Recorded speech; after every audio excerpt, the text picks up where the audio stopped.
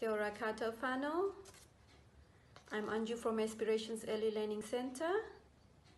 Hope you all are doing well with your little ones at home during this lockdown period. So what I've got for you today is on how to create a tugging box that could keep our little under twos busy.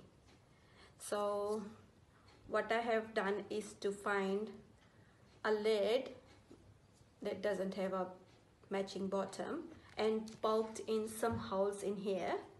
As you can see.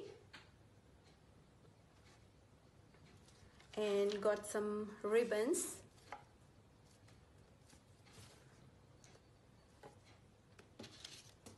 To go in the holes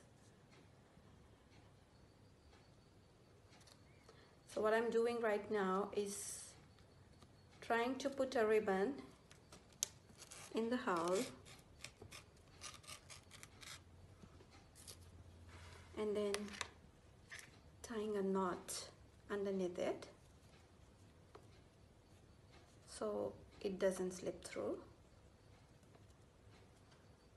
You all must be aware that our little one, little under twos have the obsession of pulling chewing on things that catches their attention. So this could be a little sensory party experience for them Hope you have liked this idea I've shared with you and would try creating one at home for a little one. Till then, ka kite anō.